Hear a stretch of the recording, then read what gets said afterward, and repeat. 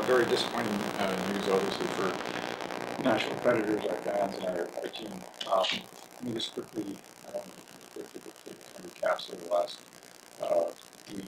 Uh, everything from our side was uh, moving along just as it has for the last uh, two, two or three years of our relationship with Jimmy Vesey and his family and his representatives. Um, basically, at the beginning of uh, this past week, we uh, talked to his agents uh, about the, the potential if he lost out in the playoffs, so the contractual uh, situation would be entering, and we also talked about the transportation, the time when he would come to Nashville the Friday if we lost. Uh, we lost on Friday, on Saturday, or Sunday if we lost on, on Saturday night. Those type of situations, everything seemed to be um, going along smoothly. Um, and on Wednesday, we received a call that were thinking about uh, free. Um, that was the first time that that had ever been told to anyone in our organization. Uh, at the point, we kind of asked uh, why, and they said it was the attraction of free agency. Um, I said that I felt that this was a complete uh, 360, if you will, and that uh, I'd have a, a meeting with uh, Jimmy, his family, his, his representatives. Spoke uh, with his dad, it was on Thursday, who, um, who seemed to be very much in favor of uh, his son signing in Nashville, and uh, agreed to have a, meeting sometime when the season was over. We called the agents and told them that we, Paul Fenton and I would come up, up to the meeting with Scott Nichol on Friday to cheer Jimmy on. Uh, we met with the agents for about an hour up in Boston, where we were look all the feelings, and it was good that came up and uh, talked about a lot of things. We asked for a meeting, and they said that uh, they would talk to uh, about that, and hopefully we would have a meeting. Uh, Paul Fenton and I came back here on Saturday.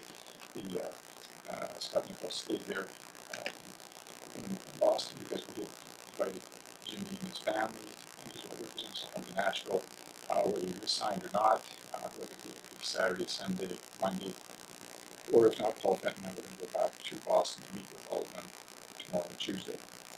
Um, there's been a lot of conversations, but uh, never, never once uh, we able to get together to have a, a meeting. Um, so I guess the first thing is to be, to be clear on what uh, our offer was to, uh, to. We offered him a spot on our position on our, our, our team, playing in one of our top lines and playing right away.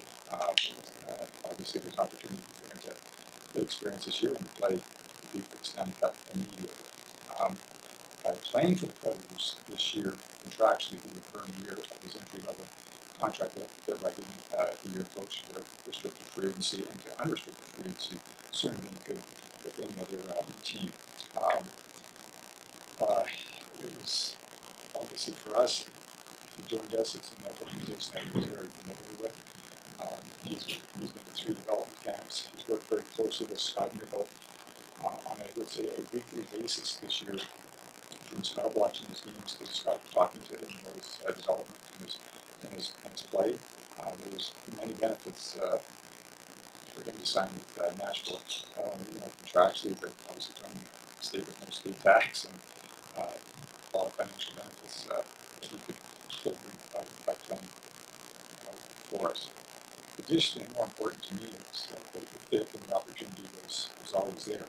And I'm just repeating myself that that was made known to, to Jimmy anytime that he was dad or his agents had a had a question about having was Scott Nichol, myself, Paul Fenton, Jeff Kealty, Peter Laviolette, who had two or three conversations with Jimmy in terms of where he fit in. From our standpoint, it, it, it couldn't have gone any, any better until last last Wednesday. And uh, every indication was that he was going to sign with us. His dad had, had told me, had told Peter Laviolette, Scott Nichol, Paul Fenton, that uh, his son was going to sign with him signed with us uh, last year, and Jimmy himself uh, told Paul Fenton uh, prior to the trading deadline, which is an important time for us because it was our last opportunity for him to change the team. Told him that he was going to sign with us, we were going to keep a position available for him. He told us that he was, he was going to sign with us. Um, so for whatever reason, and after all the time and resources that we invested in Jimmy's development, we could not get a meeting with Jimmy, his family, and his representatives all together. That's the only thing I asked for after Wednesday, and they would not accommodate us on that. Um, the first time I'm going to say this in my as a general manager. I clearly believe that Jimmy has received bad advice and bad counsel. Um, Claire usually goes to Creeds in order to increase his leverage and to benefit financially. And that will not be the case here, because whoever he signs with is going to get less of a deal on August fifteenth than he could get from the Predators today. And he's got to sign for an extra year at the same money. So on a year-to-year basis, when you go into year three, where he'd be restricted free for us, whatever he's going to make, or could make, based on his abilities, need to be talking about millions of dollars of difference over uh, a three-year period of time. So, uh, I, my ending point here is, as I told the agents, they surprised that I'm sitting right now, is they asked if we were going to announce this. I said, I'm not going to announce this because I'm not giving up on this. I said, I don't believe that the has been informed. Uh, you've never given us a chance to inform all three of you. I still believe that we're holding that right, and we have those rights until August fifteenth. So at this time, um, I really feel our relationship with Jim Vesey has been excellent. Uh, for almost four, four years, we've given a good part for his, his development, invested a lot of time. Our relationship is good. And opportunity remains very good here for him in, in Nashville. And I'm going to continue to try and see whether we can persuade him to change his mind. David, with all that said, what indication do you have, just based on everything you just told us, that you believe that you could still sign it? Just tell me what I'm going to do. To tell a little bit to go Wednesday. I, I thought for sure we were going to sign this, so this is a shock. Were, were there series of conversations today then on the phone? Was it one brief conversation? Uh, it's, it's a bizarre situation. You can't, or text, and you can't, we could never, we've never been allowed to bring two parties together. Um, Stephanie focused in the last few days has talked to Jim, Jim Reese, and I talked to his dad, and I talked to his agent a couple of times, never together. They wouldn't allow us to, to talk together. His dad's an employee of another NHL team. Is there any conflict or anything there, or are you just talking to Jim Vesey, the dad, and not Jim Vesey, the, the scout for the trial? I'm just talking to Jim Reese today.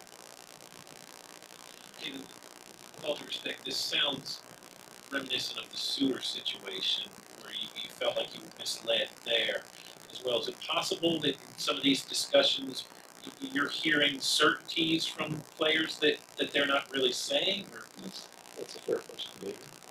Um, the difference here was that Ryan Suter had a, a clear advantage, and I knew he had a clear agenda of what he was doing. And he, he made a, about ninety-eight million dollars, I didn't believe what he did, so we played it to get to go do it. There's no financial, uh, benefit here. Um, if money doesn't mean anything, that's another story, but, uh, they clearly, my negotiations with these agents before, and I told them this, it is, every time I talk to them, that's all they talk about is money. For them to say that the money doesn't mean anything, it doesn't me. Okay. Thank you, everyone.